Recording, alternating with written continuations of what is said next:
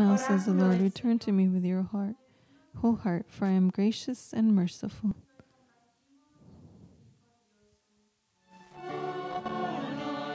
And then praising God to you, Lord Jesus Christ.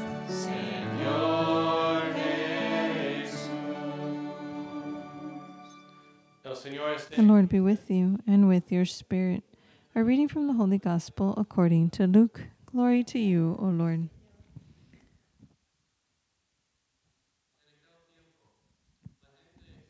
While still more people gathered in the crowd, Jesus said to them, This generation is an evil generation.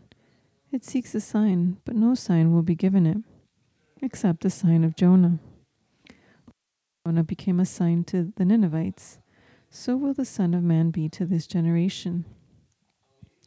And the judgment of the Queen of the South will rise with the men this, of this generation, and she will condemn them, because she came from the ends of the earth to hear the wisdom of Solomon, and there is something greater than Solomon here.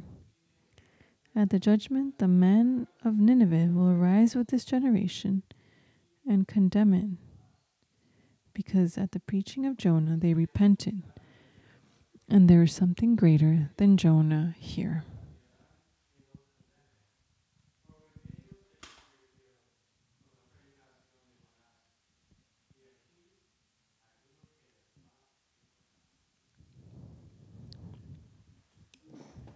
The Gospel of the Lord.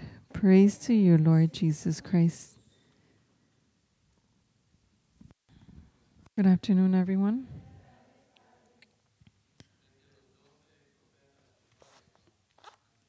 Of the 12 prophets of the Old Testament and the four prof- greater prophets, all of them had the vocation to announce the word of the Lord to the people of God, to Israel.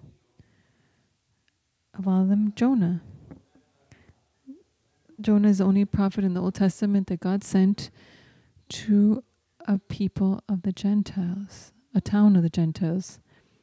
It was uh, an arduous mission to enter the heart of the world and the greatest city at this moment of the 8th century before the birth of Christ, and there in the heart of the world to preach about the God of Israel.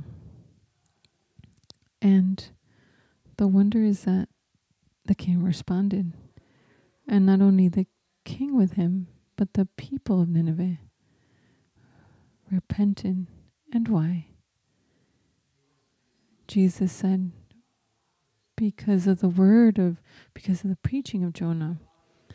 But a word pronounces the word of God. A prophet has to enflesh this word, has to demonstrate this word.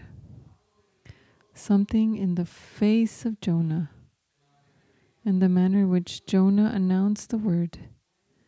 It was an instrument for God so that the people of Nineveh could see their face, listen to his voice, and receive the grace of repentance. God speaking to this man, God looking at me and this man, and responding not with pride, opposition, no, with the desire of repentance. Jesus is greater than Jonah here. And contemplating his passion, walking through the streets of Jerusalem, many re- rejected Jesus. But also, there were some who received Jesus. Perhaps they did not understand this man with the cross but they remembered his gaze. The presence of Jesus not walking through Nineveh, walking through Jerusalem to Calvary. Why were there 3,000 men who listened to Peter the day of Pentecost? When they understood who Jesus was and what Jesus did, and why did Jesus die for our sins? Perhaps some of them were there on Holy Saturday. When Jesus passed by them, they remembered. I've never seen a face like this before in my life. I've never seen such a pure love. in the midst of so much cruelty that I've seen. Jesus preached the love of God, walking his Via Crucis. Today, in our religious and spiritual family, we remember a very special anniversary the anniversary when our mother founders received the crown of thorns, and also a participation in the way of the cross of Our Lady. Contemplating the participation and the gaze of Our Lady, united with the heart of Christ, in her path passing to Jerusalem, so that all of us could also walk with Him, also receive the greatest word, the, the word greater than the word of Jonah. Repent, believe in the gospel, return to God with all of your heart. In this path, contemplating the love of Christ, also our mother founders receives a manner, a path to con- console Christ. That is, as the people of Nineveh responded to the word, we also want to respond to the word of Christ. And this is the path of reparation to repairing the wounds in the head of Christ. From his crown of thorns, our mother founders received a, a vision, a path of four steps.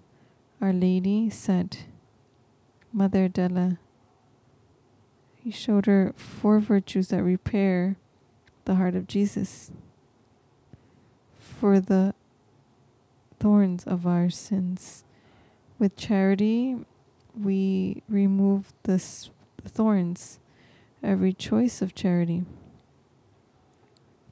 every thought of charity, every gesture of, every word of charity are, are removing a thorn from the head and the heart of Christ.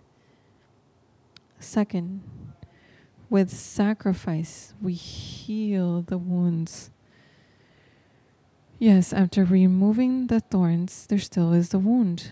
And we also want to participate in the healing of the wounds in the heart of Christ with every sacrifice.